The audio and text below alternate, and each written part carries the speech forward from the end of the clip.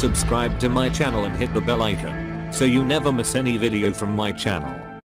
Study with N में आपका स्वागत है। आज हम लोग क्लास नाइन्थ हिस्ट्री का दूसरा चैप्टर पढ़ेंगे, जिसका नाम है socialism in Europe and the Russian revolution हम लोग पहले वाले चैप्टर में फ्रेंच रेवोल्यूशन के बारे में पढ़े थे। अगर आपने वो वीडियो नहीं देखा है तो ऊपर आई पे क्लिक करके देख सकते हैं। तो सोशलिज्म का मतलब होता है कि समाजवाद। मतलब इसका अभी मीनिंग यह समझ लीजिए कि समाज में इक्वालिटी होना चाहिए, हर बेसिस पे इक्वालिटी होना चाहिए। कोई भी धनी या गरीब नहीं होना चाहिए, किसी के पास ज़्यादा अधिकार या कम अधिकार नहीं होना चाहिए। समाजवाद तो यहाँ तक भी कहता है कि अगर कोई धनी है तो उससे धन छीन कर गरीबों में बांट देना चाहिए। तो ये सब हम लोग देखेंगे आगे। और रशियन रेवोल्यूशन को इसलिए डिस्कस करेंगे क्योंकि फ़र्स्ट जो सोशलिस्ट कंट्री जो था, वो रसिया ही बना था। मतलब कि सोशलिज्म फैलता गया फैलता गया सोशलिस्ट लोग होते गए। और अंततः रसिया में रेवोल्यूशन करके सोशलिस्ट लोग सत्ता में आ गए। तो ये दो फ़ेज़ में रशियन रेवोल्यूशन हुआ था। पहला फ़ेज़ में फरवरी रेवोल्यूशन हुआ था। तो फेबरवरी रेवोल्यूशन फिर उसके बाद अक्टूबर रेवोल्यूशन में फाइनली ये सत्ता में आ गए। और आगे चल के बहुत बड़े बड़े बदलाव हुए। फिर उन बदलाव को भी देखेंगे। तो ये छोटे समय में बड़ा चेंज को ही तो रेवोल्यूशन कहा जाता है। इसलिए ये बदलाव जो हुए, इसीलिए रशियन रेवोल्यूशन कहा जाता है। एटीनथ एंड नाइनटीन सेंचुरी के आसपास को एज ऑफ़ सोशल चेंज कहा जा रहा है। Age of social social change इसलिए कहा जा रहा है क्योंकि इस समय समाज में बहुत बड़े बड़े बदलाव हुए। जैसे कि आप देख सकते हैं कि पहले फ्रेंच रेवोल्यूशन से पहले लोग ऐसे ही जन्म लेते थे और जैसे आप गरीब हैं, जन्म लिए तो फिर खेत में काम कीजिए, कोई मालिक है उसका बड़ा सा बंगला है उसका उसके खेत में या उसके बंगले में नौकरी कीजिए और फिर आपको कुछ खाना मिल जाएगा और उसी से खाना बसर कीजिए। कुछ कमाते हैं तो आपको टैक्स देना पड़ेगा। जबकि नोबलिटी और क्लर्जी के जो फ़र्स्ट स्टेट्स के लोग हैं, उन्हें कोई टैक्स देने की ज़रूरत नहीं थी। लेकिन फ्रेंच रेवोल्यूशन जब हुआ, उसके बाद लोगों में फ्रीडम एंड इक्वालिटी की बात घोर करने लगी। मतलब लोग ये मानने लगे यूरोप के कि फ्रीडम होना चाहिए और इक्वालिटी होना चाहिए। फ्रीडम का मतलब कि अगर कोई लेखक है या कुछ भी है, अगर वो सरकार को लगता है कि उसको लगता है कि सरकार गलत कर रही है तो उसे आज़ादी होना चाहिए कि वो सरकार का विरोध करे या कुछ उसके खिलाफ लिख सके। और इक्वालिटी इस मायने में, क्योंकि सभी को अधिकार होना चाहिए कि वो वोट दे सके। और और भी अधिकार हैं, जैसे कि टैक्सेस देने का बात है तो सिर्फ़ गरीबों को ही टैक्स नहीं देना चाहिए, बल्कि first states and second states के मेंबर्स को भी टैक्स देना चाहिए। तो ये सब बातें जो फ्रेंच रेवोल्यूशन में हुई और इसे, इसके लिए रेवोल्यूशन हुआ, ये सब बातें यूरोप के और देशों के लोगों में भी घूर करने लगा। लोग इस चीज़ को मांग करने लगे। फ्रेंच रेवोल्यूशन में हम लोगों ने देखा था कि एटीन सेंचुरी से पहले, यानी कि फ्रेंच रेवोल्यूशन से पहले फ्रांस या यूरोप का जो भी देश था, वो सभी स्टेट्स एंड ऑर्डर्स में बटे हुए थे। स्टेट्स हम लोगों ने देखा था first state second state third state और उसके अंदर में फिर ऑर्डर्स हुआ करते थे तो उसमें बटे हुए थे। और जो एरिस्टोक्रेट्स या चर्च के लोग जो होते थे, वही कंट्रोल किया करते थे, राज्य किया करते थे और उनके पास बहुत ज़्यादा अधिकार हुआ करता था। लेकिन जो ही फ्रेंच रेवोल्यूशन के बाद इन लोगों पे सिकंजा कसा इन लोगों की सत्ता जाने लगी तो उसी तरीके से और भी यूरोप के देशों में ये डिस्कशन शुरू हो गया कि ऐसा समाज होना चाहिए जहाँ इंडिविजुअल राइट्स हों, लोगों के अधिकार पे चर्चा होना शुरू हो गया। और इसी तरीके से अपने देश में भी राजा राम मोहन राय और डेरो जोई, इन लोगों ने भी इनके बारे में बातें की और अपने अपने विचार लोगों ने लिखना शुरू किया कि समाज ऐसा होना चाहिए। यूरोप में सोशलिज्म आने से पहले तीन तरह के लोग थे मतलब कि तीन तरह के सोच के लोग अक्सर रहा करते थे। कुछ लिबरल्स थे, कुछ रेडिकल्स थे एंड कुछ कंजर्वेटिव्स थे। लिबरल्स उन लोगों को कहा जाता था, जो चेंज तो चाहते थे सोसाइटी में चेंज चाहते थे। देखिए, ये इंपॉर्टेंट क्वेश्चन है कि लिबरल्स के करेक्टर को लिखें या लिबरल्स के बारे में बताएँ। तो पहला पॉइंट आप उसमें लिख सकते हैं कि लुक टू चेंज मतलब कि लिबरल्स चेंज को पसंद किया करते थे। दूसरा बात, दूसरा पॉइंट आप ये लिख सकते हैं कि liberals wanted a nation which tolerate all religion मतलब ऐसा देश चाहते थे बनाना जहाँ पे सभी रिलीजन को माना जाए। क्योंकि आप जानते हैं कि पहले जो भी राजा हुआ करते थे, वो किसी न किसी खास रिलीजन को माना करते थे। जैसे कि ब्रिटेन जैसे है तो ब्रिटेन में चर्च इंग्लैंड के जो चर्च था, उसको, उसके तरफ़ से कुछ प्रभाव रहता था। उसके बाद स्पेन में उसी तरीके से कैथोलिक चर्च हुआ करते थे। तो उसको फेवर किया करते थे। तो मतलब कि रिलीजन के आधार पे डिस्क्रिमिनेशन भी हुआ करता था।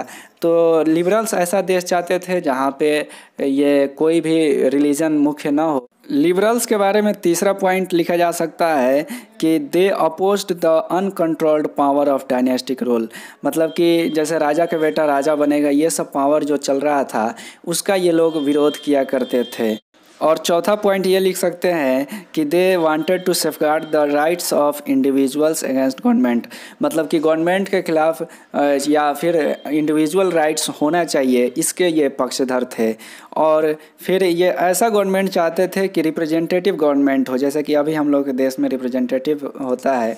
हम लोग अपने एम को चुनकर भेजते हैं, फिर वो जा के प्रधानमंत्री का चुनाव करते हैं और प्रधानमंत्री बनता है।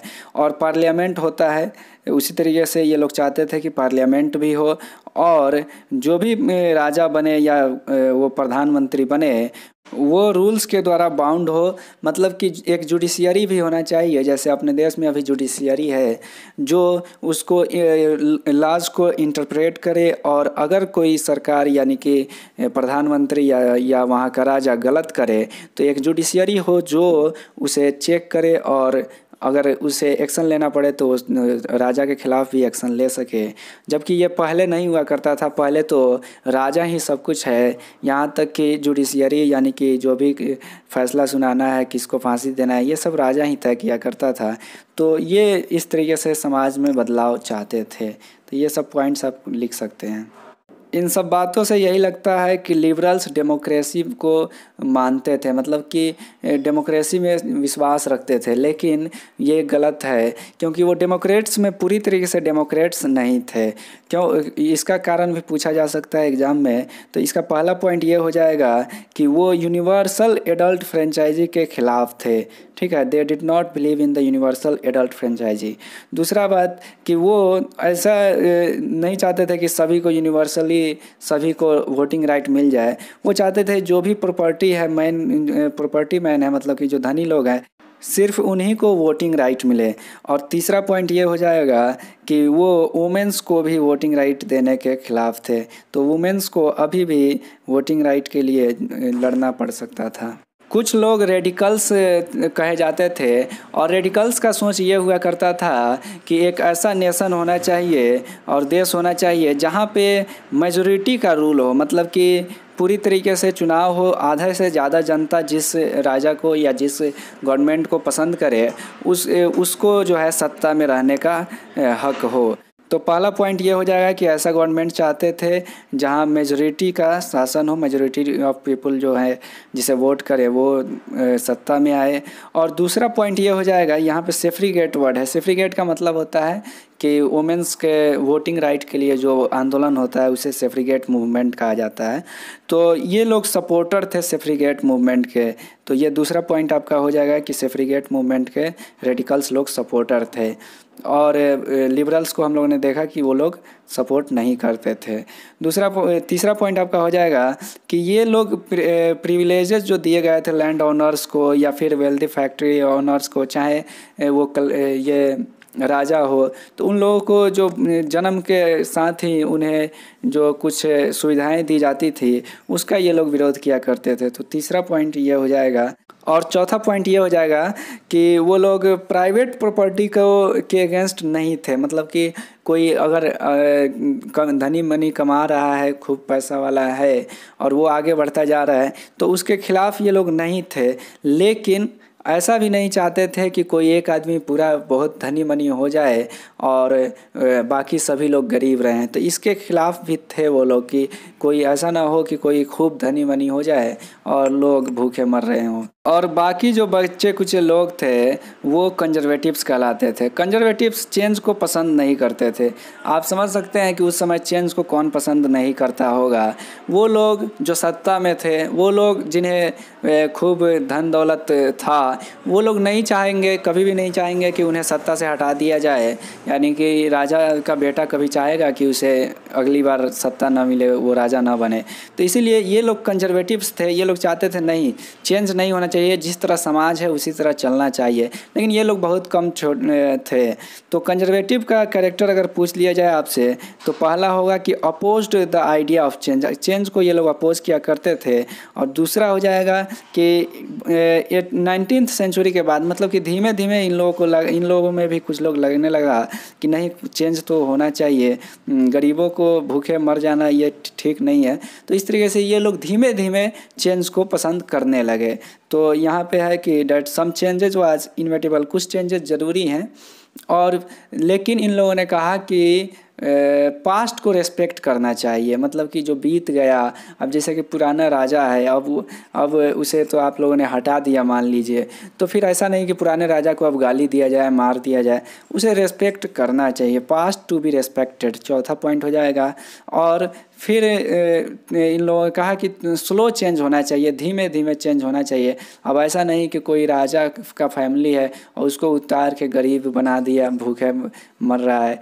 तो राजा को भूखे नहीं मरना चाहिए थोड़ा थोड़ा धीमे धीमे करके समाज में बदलाव आना चाहिए। अब हम लोग देखेंगे industrial society and social change तो इन्हीं रेडिकल्स एंड लिबरल्स में से दो नए आइडियाज़ निकलते हैं, आगे हम लोग देखेंगे। और फिर इंडस्ट्रियल सोसाइटी कैसा था? तो देखिए, इस समय जब एटीन सेंचुरी चल रहा था तो इस समय इंडस्ट्रियल रेवोल्यूशन हुआ था। आप इसके बारे में पूरी तरह से क्लास टेन में पढ़ेंगे। इंडस्ट्रियल रेवोल्यूशन एक चैप्टर है। तो उसमें हुआ यूँ कि अचानक से इंडस्ट्रीज़ बनना शुरू हो गई और फैक्ट्रीज़ आना शुरू हो गई। तो जैसे ही शहरों में फैक्ट्रीज़ बनना शुरू हुआ, लोग गाँव से छोड़कर शहर में आने लगे। तो जो पहले खेती बाड़ी करते थे, पीजेंट्स थे, वो अब फैक्ट्री वर्कर्स हो गए, फैक्ट्री में आकर काम करने लगे। उसी समय रेलवेज़ का भी आविष्कार हुआ, रेलवेज़ भी चलने लगा। तो इस तरीके से जो भी रेलवे का मान लीजिए मालिक है तो वो मालिक हो गया और जो काम करने वाले हैं, वो फैक्ट्री वर्कर्स हो गए। तो ये सब इंडस्ट्रियल डेवलपमेंट हुआ। इससे हुआ यूँ कि वर्किंग आवर बहुत ज़्यादा हुआ करता था उस समय। तो ये लेबर्स के लिए प्रॉब्लम था वर्किंग आवर बहुत ज़्यादा हुआ करता था और लोग इतने मात्रा में शहर की तरफ़ आने लगे कि मतलब कि डिमांड एंड सप्लाई का थ्योरी लगने लगा। लोग बहुत ज़्यादा आने लगे और डिमांड बहुत कम था। तो बहुत कम वेज पे मतलब कि बहुत कम पगार पे नौकरी लेने लगे लोग। इतना कम मिलता था और फिर लोग बहुत ज़्यादा होने की वजह से शहरों में भीड़ बढ़ गई और वहाँ पे हाउसिंग का प्रॉब्लम आने लगा। मतलब कि घर नहीं थे और एक एक रूम में लगभग कहा जाता है कि दस दस, बीस बीस मेंबर्स रहने लगे। तो इस तरीके से उन लोगों को रहना पड़ता था, धरती पे सोना। और मतलब बहुत बुरे हालात हो गए थे। अनएम्प्लॉयमेंट इसी को कहा जा रहा है कि बहुत कॉमन हो गया, क्योंकि लोग बहुत ज़्यादा शहर की तरफ़ बढ़ गए थे और शहर में लोग ज़्यादा थे तो कुछ को एम्प्लॉयमेंट मिलता था, कुछ को नहीं मिलता था। इसको डिटेल में और डिटेल में टेंथ में आप पढ़िएगा। ये एक इमेज है लंदन का, उस समय का। आप देख सकते हैं कि एक रूम में कितने लोग हैं। तो ये हालत थी उस समय की। अब फैक्ट्रीज और इंडस्ट्रीज़ बैठने लगी, बनने लगी और उसके जो मालिक हुआ करते थे, वो इंडिविजुअल हुआ करते थे। इंडिविजुअल मतलब कि जैसे कि कोई आदमी है और उसका फैक्ट्री है तो वो उसका ऑनर हो गया, वो मालिक हो गया और अधिकतर जो मालिक हुआ करते थे, वो लिबरल्स थे या रेडिकल्स थे। तो लिबरल्स और रेडिकल्स ये फैक्ट्री ऑनर्स हुआ करते थे और ज़ाहिर सी बात है, जो फैक्ट्री का मालिक होगा, वो धनी मनी हो ही जाएगा, बहुत पैसा कमाने ही लगेगा और एम्प्लॉयमेंट देगा ही, लोगों को रोज़गार देगा। तो इस तरीके से ये लोग फैक्ट्री के मालिक हो गए और इन्हीं को कैपिटलिस्ट्स कहा गया। कैपिटलिस्ट्स मतलब कि कैपिटल के मालिक। अब आपसे पूछा जा सकता है कि कैपिटलिस्ट्स क्या सोचते थे, क्या विचार रखते थे, या फिर ऐसे पूछा जा सकता है कि फैक्ट्री ओनर्स क्या सोचते थे, क्या विचार रखते थे। तो इन लोगों का मानना था कि अगर लेबर्स हेल्दी हो और एजुकेशन दिया जाए मतलब कि सिटीजन्स को एजुकेशन दिया जाए, पढ़ाया लिखाया जाए और हेल्थ का ख्याल रखा जाए तो लेबर्स हेल्दी होंगे तो अच्छे काम करेंगे, अच्छे से वर्कफोर्स होगा और एजुकेटेड होंगे तो और अच्छे तरीके से कुछ सोच विचार के कार्य करेंगे। तो इस, इससे क्या होगा कि डेवलपमेंट आएगा सोसाइटी में। तो कैपिटलिस्ट का पहला सोच ये हो जाएगा कि लेबर्स को हेल्दी, हेल्थ का और सिटीजन्स को एजुकेशन देने का सरकार व्यवस्था करें। और दूसरा पॉइंट ये हो जाएगा, ये लोग मानते थे कि ये जो एरिस्टोक्रेट्स हैं और फिर ये लोग भी उसका विरोध किया करते थे कि जन्म के साथ ही उन्हें कुछ स्पेशल जो मिल रहे हैं प्रिवलेजेस उन्हें नहीं मिलना चाहिए। और फिर ये लोग इसमें भी विश्वास रखते थे कि इंडिविजुअल एफर्ट्स होना चाहिए लेबर मतलब कि मेहनती होने चाहिए और इंटरप्राइजेज होने चाहिए। जैसे कि ऐसा ना होना चाहिए कि फैक्ट्रीज़ को बंद कर दिया जाए, उद्योग होना चाहिए इंटरप्राइजेज होने चाहिए। और ऐसे ही मतलब ये लोग अपने बारे में ही तो ख़ास तौर पे सोच रहे थे। अगर उद्योग होगा तो ये लोग कैपिटलिस्ट रहेंगे और ये लोग मालिक रहेंगे।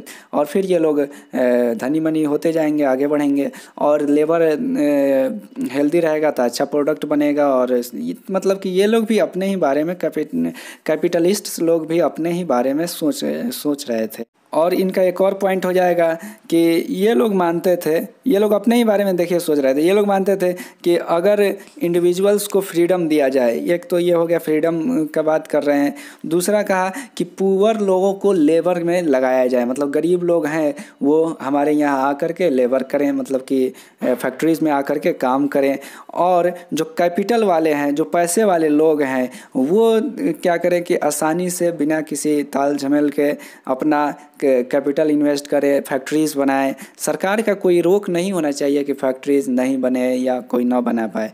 उन्हें फ्री मिलना चाहिए। ये अपने बारे में ही मैं सोच रहे थे। तो इस तरीके से अगर होगा तो सोसाइटी में डेवलपमेंट होगी और समाज में विकास आएगा। इन सब बातों से जो वोमेंस या मेंस जो काम किया करते थे फैक्ट्रीज में, वो लोग बहुत प्रभावित हुए। वो लोग इसलिए प्रभावित हुए कि उन्हें लगा कि फैक्ट्रीज ऐसे बनेंगी और ज़्यादा फैक्ट्रीज बनेंगी तो हमें काम ज़्यादा मिलेगा और फिर हम लोग लेबर करेंगे और काम करेंगे तो फिर हम लोग पैसा कमाएँगे और पैसा कमाएँगे, आसानी से जीवन जिएँगे। ये लोग इससे ज़्यादा तक का सोच नहीं पाए कि ये कैपिटलिस्ट लोग अपने ही बारे में सोच रहे हैं लेबर हम करेंगे और पैसा वो कमाएँगे। आगे हम लोग देखेंगे सोशलिज्म आया तो इन लोगों को को सोच को और इन्फ्लुएंस किया। तो ये लोग इसीलिए ये लिबरल्स के पीछे पीछे या फिर रेडिकल्स के पीछे पीछे रैली करने लगे और रेडिकल्स और लिबरल्स जो कि कैपिटलिस्ट थे तो इन लोगों का रैली होना शुरू हो गया ये लोग। सरकार के विरोध करने लगे। उसी समय एक और ग्रुप था नेशनलिस्ट्स। तो ये लोग भी सरकार का विरोध किया करते थे। हम लोगों ने फ्रेंच रेवोल्यूशन में देखा था कि 1815 में वाटर लू की लड़ाई में हार जाता है नेपोलियन। तो नेपोलियन जब हारता है, उसके बाद वियना कांग्रेस होता है। आप टेंथ में इसे पढ़ेंगे नेशनलिज्म इन यूरोप में। तो वियना कांग्रेस में हुआ यूँ कि फिर से पुरानी जो सत्ता थी, उसे फिर से काबिज कर दिया गया, जिसे बॉर्बन फैमिली हम लोगों ने 1789 में जो ख़त्म हो गई थी रेवोल्यूशन के बाद फ्रेंच रेवोल्यूशन के बाद तो उसे फिर से इस्टाब्लिश कर दिया गया। मतलब कि कंजर्वेटिव्स को सत्ता में फिर से ला दिया गया था। वहाँ के सभी राजा लोग मिल करके ये वियना कांग्रेस किए थे। तो इससे क्या हुआ कि जो नेशनलिस्ट थे नेशनलिस्ट चाहते थे ऐसा कि एक नेशन स्टेट हो। नेशन स्टेट कहा जाता है कि मतलब कि सेम विचारधारा के लोग सेम तरह के लोग सेम बोली के लोग, भाषा भी सेम हो मतलब कि और वो लोग एक साथ हो और एक देश का निर्माण करें और उस देश में सत्ता हो चुनाव के अनुसार। तो इस तरीके से नेशन स्टेट्स की मांग करने वाले नेशनलिस्ट कहे जाते थे। तो ये लोग इक्वल राइट्स के भी बात करते थे। तो ये लोग भी चाहते थे कि अब कंजर्वेटिव्स को सत्ता से हटाया जाए। तो ये लोग भी सत्ता के खिलाफ थे। और हम लोगों ने देखा कि लिबरल्स और रेडिकल्स भी सत्ता के खिलाफ आंदोलन करना शुरू कर दिए थे। तो इस तरीके से नेशनलिस्ट्स लिबरल्स एंड रेडिकल्स तीनों मिल कर के रेवोल्यूशन करना शुरू हो गए। ये लोग सरकार को चाहने लगे कि यूरोप से अब मतलब कि हटाया जाए। तो यूरोप में हर जगह फ्रेंच की जगह फ्रांस फ्रांस में भी, रसिया में भी, जर्मनी, इटली में भी ये सब जगहों पे ये सब रेवोल्यूशनरी हो गए और रेवोल्यूशन करने लगे। और इन, ये और डिटेल में आप टेंथ में पढ़ेंगे, नेशनलिज्म इन यूरोप में। उन्हीं नेशनलिस्ट रेवोल्यूशनरीज में से एक थे गैशेप मैजनी इनके बारे में भी टेंथ में है। तो ये इटालियन नेशनलिस्ट थे। इन्होंने बहुत कुछ लिखा भी था और बहुत लोग इनके, के फॉलोअर हो गए थे। और बाद में इटली का इटली एक यूनाइटेड स्टेट बन गया था। मतलब कि नेशन बन गया था। इन सबों के बीच सोशलिज्म का एंट्री होता है यूरोप में और सोशलिस्ट्स लोग अब बनते हैं। सोशलिस्ट अब किसे कहेंगे? ये देखते हैं। सोशलिस्ट का पहला कैरेक्टर है कि वो लोग प्राइवेट प्रॉपर्टी के पूरी तरह से खिलाफ थे। ये लोग तनिक भी नहीं चाहते थे कि कोई फैक्ट्री का मालिक हो और वो पैसा कमाए, वो धनी मनी होता जाए। जैसे कि कैपिटलिस्ट चाहते थे कि हम खूब पैसा कमाएँ और लेबर लोग खूब कार्य करें तो ये ये नहीं चाहते थे।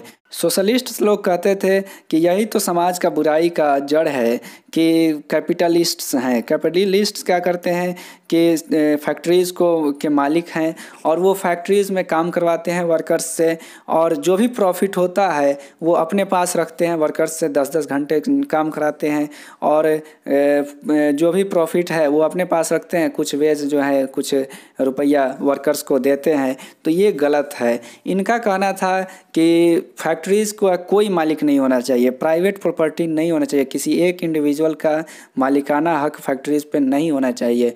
कोई भी फैक्ट्रीज है तो उसका मालिक सब होगा। जैसे 200 वर्कर्स हैं तो 200 वर्कर्स उसके मालिक होंगे। अब पहले था कि कोई मालिक है और और मान लीजिए कमीनी हो गई दो हज़ार की तो दो हज़ार में से एक हज़ार वो अपने पास रखेगा। बाकी सब बांट देगा वर्कर्स के बीच में। और वेज वैसे फिक्स थे, लेकिन अब सोशलिस्ट का कहना था कि नहीं, कोई मालिक नहीं होगा। अगर दो हज़ार का कमीनी हुआ है और सौ लोग हैं तो सभी को इक्वल इक्वल मिलने चाहिए। सभी को इक्वल इक्वल में वेज जो है इक्वल इक्वल बराबरी में बांट देना चाहिए वो सभी रुपया। तो मतलब ये हुआ कि सोशलिस्ट ये चाहते थे कि मालिक कोई भी ना हो फैक्ट्रीज़ का या किसी भी चीज़ का, प्राइवेट प्रॉपर्टी का मालिक नहीं होना चाहिए। प्राइवेट प्रॉपर्टी नहीं होना चाहिए। ये प्राइवेट प्रॉपर्टी के पूरी तरह से खिलाफ थे। सोशलिस्ट सोच के होने से पहले लोग कोऑपरेटिव सोच के हुए। कोऑपरेटिव्स उन्हें कहा गया कि जो क्या करते थे कि एक साथ एसोसिएशन में, जैसे कि 20 लोग हैं 25 लोग हैं या 100 लोग हैं, सभी कोई एक साथ अपना काम करेगा और गुड्स को प्रोड्यूस करेगा, फिर उसे बेचा जाएगा। मान लीजिए 100 लोग हैं, फिर बेचा जाएगा और जितने रुपये में बिका और उसको बांट लिया जाएगा इक्वली नहीं डिस्ट्रीब्यूट किया जाएगा कोऑपरेटिव्स में। सोशलिस्ट में कहा गया था कि इक्वली डिस्ट्रीब्यूट होना चाहिए। लेकिन कोऑपरेटिव्स में है कि जिसने ज़्यादा काम किया, उसे थोड़ा थोड़ा ज़्यादा मिलेगा, जिसने कम किया उसे थोड़ा कम मिलेगा। तो इस तरीके से कोऑपरेटिव से सोसाइटीज़ भी बनी। जैसे कि न्यू हारमोनी इन इंडियाना नाम का ये यूएसए में बना हुआ था रॉबर्ट ओवेन ने। उतना इम्पोर्टेंस नहीं है। इसका। उसी तरीके से फ्रांस में एक लुइस ब्लैंक नाम के थे। इन्होंने गवर्नमेंट से मांग की कि गवर्नमेंट कोऑपरेटिव्स को इनक्रेज करे, बढ़ावा दे कैपिटलिस्ट को बढ़ावा ना दे। जबकि कैपिटलिस्ट मांग करते थे गवर्नमेंट से कि वो बढ़ावा दे कैपिटलिस्ट्स को फैक्ट्रीज़ को। लेकिन लुइस ब्लैंक ने ये मांग किया कि कोऑपरेटिव्स को बढ़ावा देना चाहिए ताकि सभी का भला हो सके, क्योंकि कॉपरेटिव्स में क्या होता था कि जो भी कमीनी होती थी, उसे इक्वली या इक्वली नहीं जिसके काम ज़्यादा हो, उसके अनुसार डिस्ट्रीब्यूट कर लिया जाता था। अब आते हैं Karl Marx and Frederick Engels तो ये दोनों में कार्ल मार्क्स बहुत इम्पोर्टेंट हैं और कार्ल मार्क्स ने अपनी थ्योरीज जो सोशलिज्म पे है, उसे ज़्यादा करके लिखे थे। धरती पे उतारने का काम लेनिन और स्टालिन ने किया। आगे हम लोग देखेंगे रशियन रेवोल्यूशन में। तो ये कार्ल मार्क्स लेनिन लेनिन और स्टालिन ये तीनों हीरो हैं आपको सोशलिज्म लाने में, समाज में। तो कार्ल मार्क्स को के कुछ पॉइंट्स ज़रूर याद रखिएगा। कार्ल मार्क्स ने कहा कि ये जो कैपिटलिस्ट्स हैं मतलब कि इंडस्ट्रीज़ के जो मालिक हैं, ये सभी कैपिटलिस्ट्स हैं। ये लोग क्या करते हैं? वर्कर्स से काम कराते हैं और प्रॉफिट अपने पास ज़्यादा रखते हैं। दूसरा बात इन्होंने कही कि वर्कर्स का कंडीशन तब तक नहीं सुधर सकता जब तक ये प्रॉफिट्स जो है प्राइवेट कैपिटलिस्ट ही रखेंगे, तब तक नहीं सुधरेगा। इसे होना ये चाहिए कि वर्कर्स को चाहिए, तीसरा पॉइंट इन्होंने कहा कि वर्कर्स को चाहिए कि इन प्राइवेट जो ऑनर्स हैं प्राइवेट प्रॉपर्टीज़ जो ये कैपिटलिस्ट हैं, इनको ख़त्म करें। और इनको ख़त्म करने के लिए ये मानते थे कि इन्हें कुछ सीनाजोरी करनी पड़े, ज़बरदस्ती करनी पड़े तो करें, लेकिन इनको ख़त्म करके सोशल, सोशलिस्ट सोसाइटी बनाएँ और उस सोशलिस्ट सोसाइटी को कम्युनिस्ट सोसाइटी कहा जाएगा। तो इस तरीके से इन लोगों ने कम्युनिस्ट सोसाइटी का सोच रखा कि फैक्ट्रीज़ का जो है कोई मालिक नहीं होना चाहिए, सभी जो है इक्वल होने चाहिए, सभी में इक्वल इक्वल वेजेस मतलब इक्वल इक्वल रुपये बंटने चाहिए।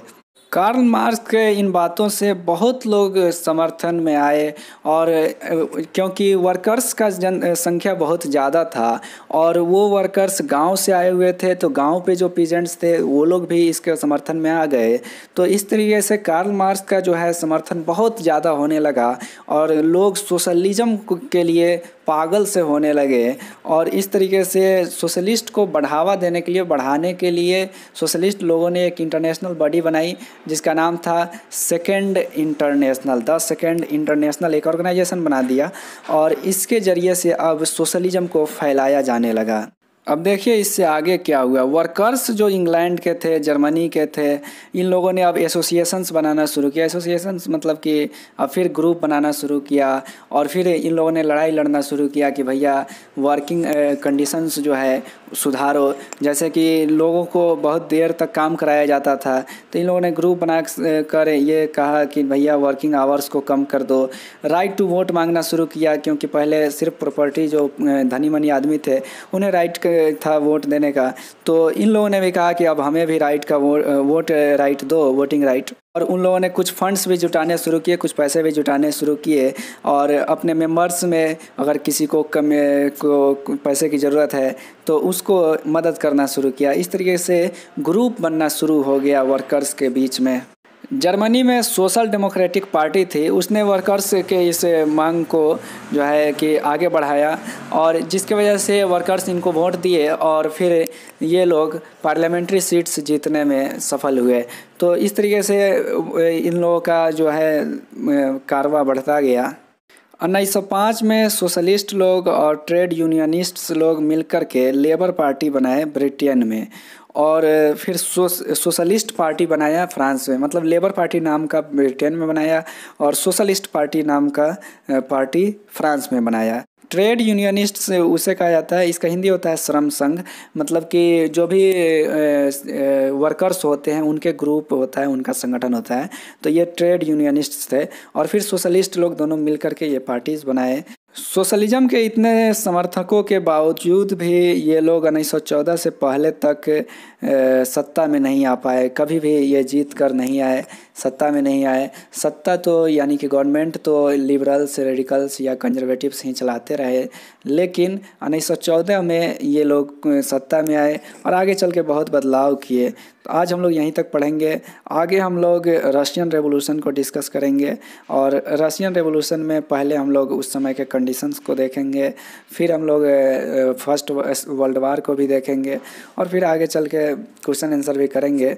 अगर आप लोगों को ये वीडियो पसंद आया हो तो लाइक शेयर सब्सक्राइब करें और आप लोगों का रिस्पांस अच्छा रहा तो अगला लेक्चर मतलब आगे का लेक्चर बहुत जल्द आ जाएगा। आप यहीं से जाकर देख पाएँगे। धन्यवाद।